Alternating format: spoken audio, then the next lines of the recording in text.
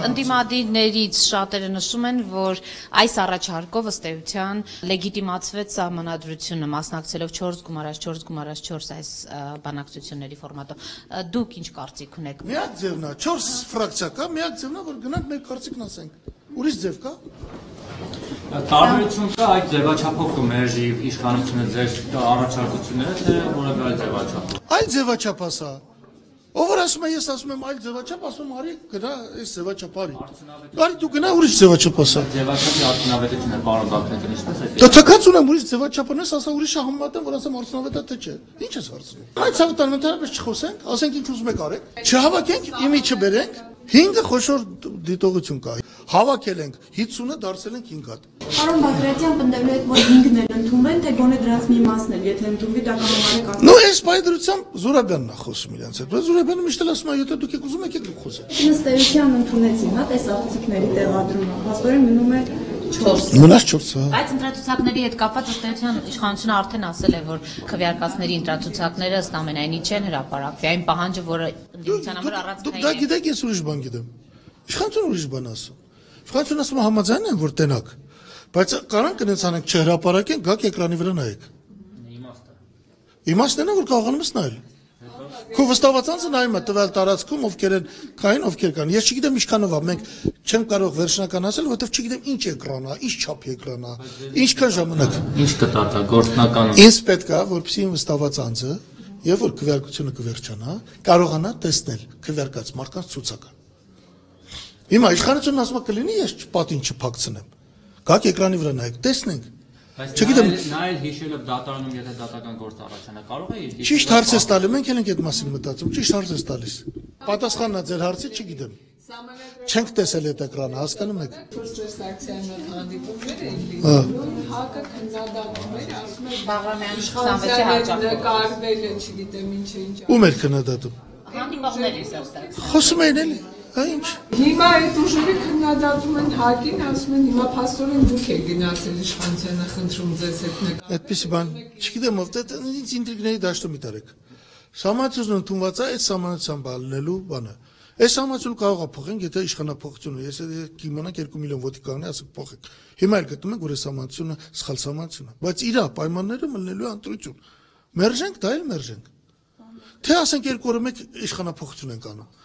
Սա պիտի անենք։ Գնացել ենք հիմա ԵՏՄ։ Ես բացում եմ ԵՏՄ, տեսնում եմ վերջի հանձնաժողովի որոշումները։ Դա փակ որոշումներ են։ Ամբողջ այս առևտուրը անցյալ տարի 25% է պակասել, այս տարի էլ 15%։ Ինչ է X ստեղծում ես ԵՏՄ-ն։ Հիմա Բագրատյանը չելնի, չվերկենա, չասի, այնքեներ, ես տեսնում եմ լուծումներ ԵՏՄ-ի շրջանակներում։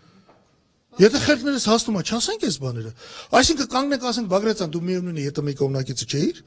Ինչ անենք, ասենք։ Կամ եթե դուք ուզում եք, այսպես ասեմ, չեք ուզում հանկարծ ձեզ մոտ ծնվում է 4-րդ երեխան, հրաժարվում եք այդ երեխայից։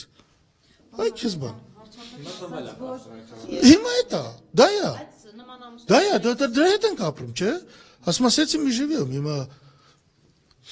մենք դրանով ապրում ենք։ հավանական համարեց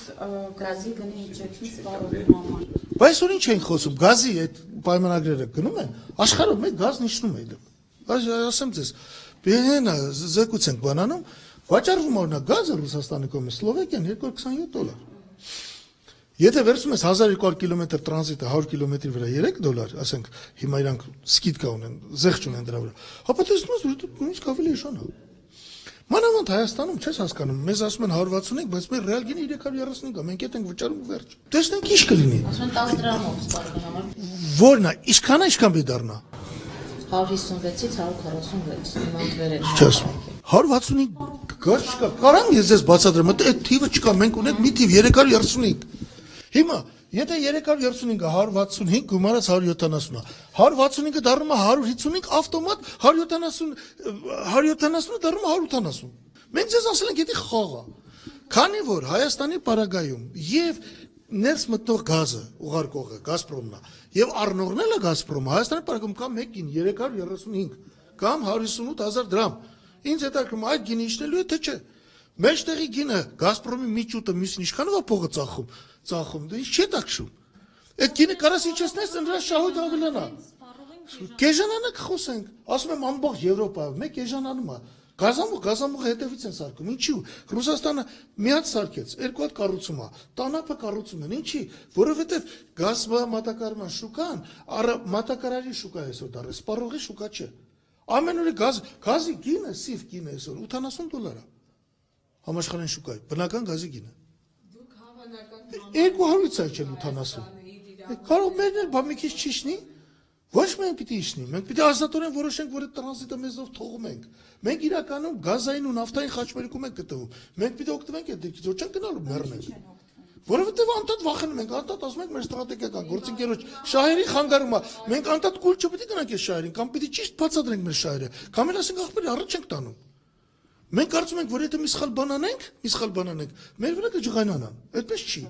Կարող է ջղայնանան իշխանությունը պահելու իմաստով։ Ես կարծում եմ, Հայաստանի իշխանությունները իրենց իշխանություններն են պահում։ Հալի ոչ թե Ռուսաստանի շահն են օգնում Հայաստանի տարածքում։ Սա հստակ է ինձ համար։ Հիմա հավանական համարում եք, որ Սերժ Սարգսյանը կկարողանա ոչ թե իր իշխանության շահը պայել Հայ- Հայաստանի Հանրապետության։ Հիմա եթե 2013-ին ինձ ընտրած լինեիք պրեզիդենտ, ես լինեի, ես տանապով գազը կտանեի։ Ես կանեի։ Գազամուղնով աստորագրի հայրենական։ Միշտ դեմ են եղել, հետո ով աստորագրի 95 թվին հայրենական գազով, էլեկտրագիծը։ Դուք ինչ եք անում։ Ոնց ասում չէ։ Ասում եմ գազամուղն է, ես չեմ թողում հասկացա։ Այ բալա, նոր գազամուղի մասն է խոսքը։ Նորն է։ Մեր վրա նոր գազամուղ գցեն, որպեսզի Իրանից գազ տանեն Եվրոպա։ Թող տանե։ Ոնց կարող ասի Ռուսաստանը կոնկրետ Չի ասի։ Պարոն Բակետյան, կոնկրետ քայլը որն է, որ դուրս չմնա դուրից։ Կոնկրետ քայլը ակտիվորեն բանակցելն է եւ Իրանի հետ խոսել է Եվրոպայի հետ եւ ասել որ Հայաստանը պատրաստ է լավագույն պայմանները տրամադրել, եթե նոր գազամուղ կառուցվի դեպի Իրան։ Որտեվ տանակ գազամուղի շահագործումը առանց իրանական գազի անիմաստ է։ Այդքան գ- 50 միլիարդ խորանարդ մետրի գազամուղ են կառուցում, որ այդ պոտենցիալ ունի տարեկան, բայց այս պայդրությամբ ունեն 15-16 միլիարդ խորանարդ մետր գազ, եթե Իրանը չկա։ Իրանը 3 խոշորագույն գազ ունեցողներից մեկն է, աշխարհի գազը գտնվում է 3 հիմնական երկրներում՝ Ռուսաստան, Իրան եւ Կատար։ Որ ազատ կունենա, հարկավորում չի լինի, չգիտեմ ինչ չի լինի, ես կանենք, են կանենք, պատրաստ ենք աջակցել։ Եվրոպայի ու Իրանի ֆինանսներով։ ճյուղը գալիս է մտնում է Վրաստան, ընդես ճյուղավորվում է, մեկը գնում է Ադրբեջան։ Բացառված չի որ մյուսն էլ գնա Հյուսիսային Կովկաս Ռուսաստանից էլ գազ վերցնի։ Մենք էլ ասում ենք պատրաստ ենք մեր վրա թողեք դեպի Իրան։ Պարոն Բագրատյան եւ արս դարձավ, որ Ռուսաստանը փաստորեն կհանի ԵՏՄ շրջանակներում Հայաստան ներկրվող նավթամթերքի վրայից այդ մաքսերը ստացվում է որ Ստացվում է որ մենք ճիշտ ենք, ես մի տարի գոռում ենք այդ մասին, ինչ ասեմ։ Կարող է մեր գոռալը տեղ է հասել։ Ռուսաստանը վաճառում է գազը մեծածախքին 55 դոլար, մանածախ 110։ Հայաստանն էլ պիտի 110-ով առնի։ Ոչ թե 335-ով։ Սա է խնդիրը։ Մեդվեդևի այցի ընթացքում հնարավոր է հենց Բայց դա վաղուց պիտի լուծածել նեին։ Մենք կոնյակը Մոսկվայում վաճառում ենք ավելի ժան, քան թե Երևանում։ Իրան գազը վաճառում են Հայաստանում 3 անգամ տան, քան թե Ռուսաստանում։ Այսինքն դա հենց ընդամենը մի տոկոսի քայլ են արել, հələ հələ վարմատապես պիտի փոխվի։